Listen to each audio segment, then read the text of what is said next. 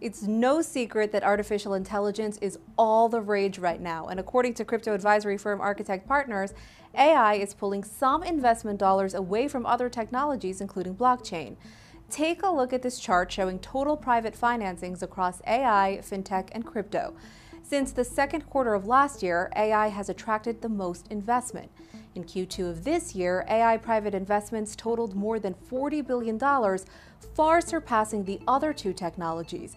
But AI and blockchain don't have to be at odds. There is likely uh, early stage capital funding that is uh, being allocated to AI versus allocated to crypto. Uh, ultimately, one of the things about blockchain as a technology is it plays pretty well with other technologies. And when you think about the combination of what AI plus blockchain and plus other emerging technologies will be, because all of this will eventually merge together, uh, it's going to be a, it's going to lead to a much stronger environment. I expect the combination of AI plus blockchain and crypto to be a powerful go forward investable theme.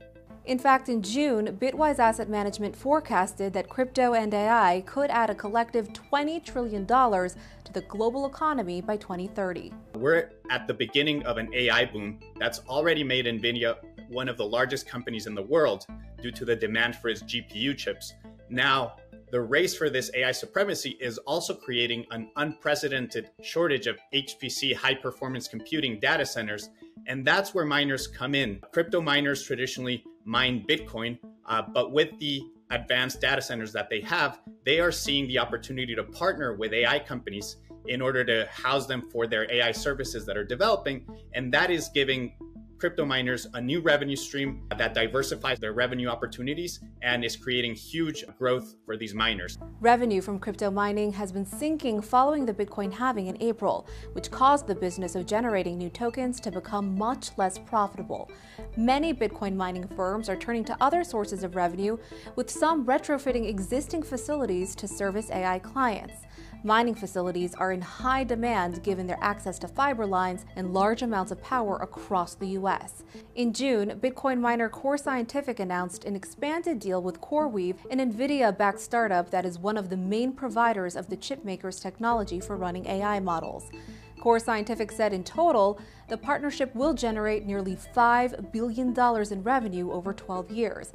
Also in June, Bitcoin miner Hut 8 said it raised $150 million in debt from private equity firm Coatue to help it build out its data center portfolio for AI. I think we will see more deals. I think it's you know certainly positive for the industry. It's positive for the miners. If you think about you know Bitcoin miners, their kind of sole job has been to acquire cheap electricity and computing power to mine Bitcoin, and they were you know early to that game. And so all of a sudden, when you know AI emerged as a you know a, a very compelling use case with rapid adoption that we haven't seen since the internet of the late 90s, frankly now all of a sudden the supply and demand overlap between what the Bitcoin miners have, which is power contracts and big footprints, and now the new demand coming from these AI and HPC, these kind of high processing computing centers, is a perfect match. In its note, Bitwise Asset Management also points to other opportunities for AI and crypto. One of the longer term opportunities, information validation. Another, virtual assistants. Today we have simple agents like Siri or Alexa that can can help us do very simple things. You know, you can it can help you make a call, it can help pull up directions, but they can't really do very complex things yet. So we think the opportunity with these AI agents is that crypto through smart contracts and through cryptocurrencies can help them become much more efficient at doing more complex tasks. We think that opportunity is really exciting, not only for individuals, but for businesses in enhancing productivity and allowing them to operate with smart contracts that can unlock functionality. VanEck also sees the potential of the merging of AI and crypto. In February, the Global Investment Manager released its crypto AI revenue predictions, forecasting revenue will reach $10.2 billion by the end of the decade in its base case. Matthew Sigel, head of digital assets research at VanEck, says he thinks there will be a quote, flourishing market to establish identity on the internet. In order to establish that you are a person, crypto can help with that without revealing who you are. And that can be a killer app for this ecosystem. The most famous project that is attacking this problem is Sam Altman's WorldCoin, uh, which literally asks you to scan your eye into an orb, uh, and then you get airdropped some WorldCoin tokens, and perhaps that, that can generate a, a circular economy where all the participants are known to be human.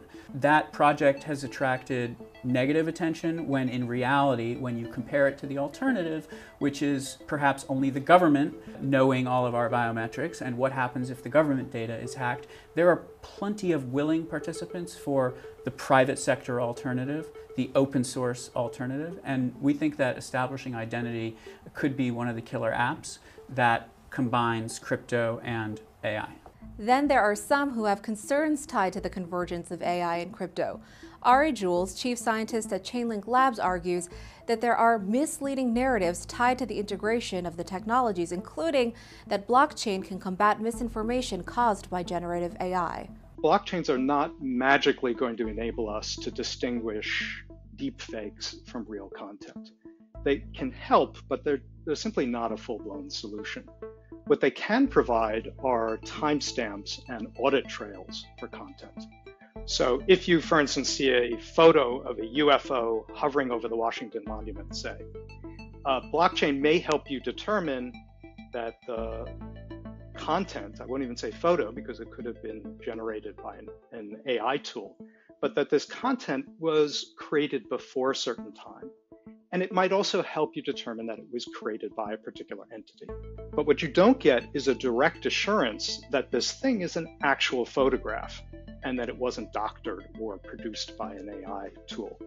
And the other thing that a blockchain isn't going to give you is the full context in which the image was produced. My concern with the kind of merger of these two technologies is more so, like, I guess, narratively, that there's a lot of people who are building things that they claim to be you know useful applications of these two things, and uh, it's very rare to see you know real real innovation in this space. I think that there's been this wave of kind of you know quasi builders who have seen the AI hype and think that okay, if I slap on AI to my crypto project, suddenly it's a legitimate legitimate project. Um, I think there's those are a dime a dozen, but there are very real companies that are building, I think, important use cases in AI, both in data authentication and in privacy. San Raghupathi is the co founder of the DeFi protocol Veda, which plans to incorporate AI. My view is that within the next two years, we will see AI agents that are capable of entirely autonomously managing portfolios on behalf of people and we'll be the best at doing so, meaning from a risk management perspective, from an optimization perspective, uh, we will see fully autonomous systems.